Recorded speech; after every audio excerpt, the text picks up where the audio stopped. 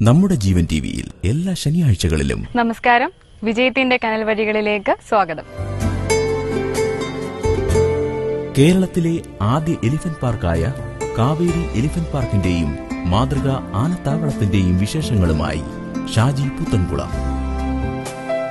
ഒപ്പം ആനക്കുസൃതിയുടെയും ആനസവാരിയുടെയും കണ്ടാൽ മടുക്കാത്ത കാഴ്ചകളും വൈകിട്ട് ആറ് മുതൽ ആറ് മുപ്പത് വരെ വിജയത്തിന്റെ കനൽ വഴികൾ.